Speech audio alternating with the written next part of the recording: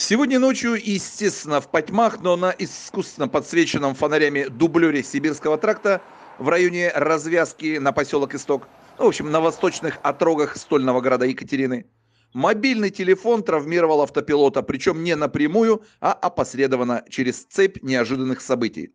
Декорация такая. По дублеру Сибирского тракта в сторону Екатеринбурга катились двое – в правом ряду Мазовская фура со 174-ми челябинскими номерами. И в левом ряду чуть сзади ехал германский подорожник Volkswagen Polo, пилотируемый, хотя скорее полотируемый 32-летним рулевым.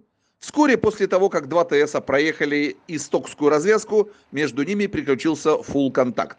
Ехавший сзади половичок чутка сдвинулся из левого ряда вправо и налетел на левый задний угол попутной, но значительно более медленной челябинской фуры.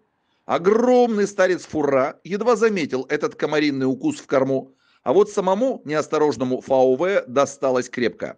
Ударившись об угол, полуумный болид закрутился на зимней трассе, резко ушел влево и налетел мордой на ершистый отбойник, промяв последний.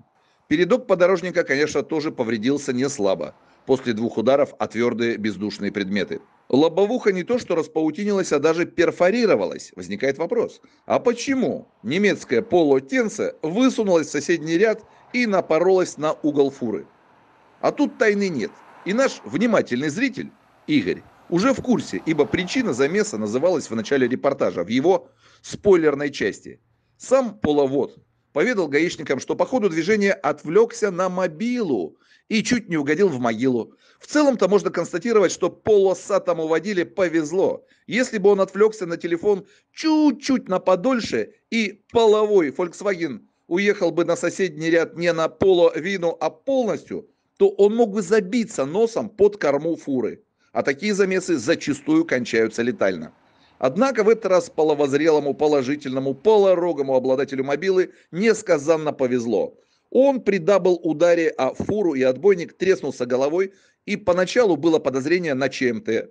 Плюс к этому было подозрение на травму позвоночника, но по данным ГАИ ни одно подозрение не подтвердилось. Не будьте подозрительными и любите друг друга.